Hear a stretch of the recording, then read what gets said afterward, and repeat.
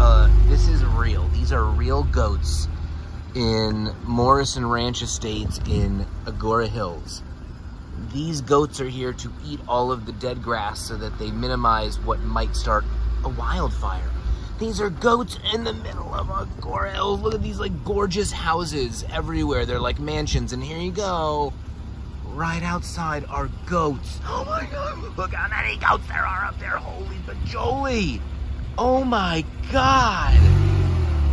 Oh my God. Can you believe this? Wow. So there's your home. I just, I, I could never. Um, I just, Yeah, we've been doing this for about five years. it's brilliant. And I'll be here for about a month. And there's a goat herder that's just gonna, He'll Shepherd them? here. Yeah. Oh my lord. So we we by law we're supposed to clear 100 feet back.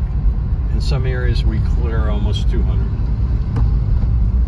Oh my god, and then So all this will be the, gone here. All this, all through here. they're gonna just pound through it. Oh my god, and so here, uh, no, those are just regular people.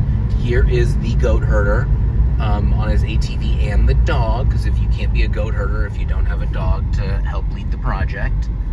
So, wow, that is wild.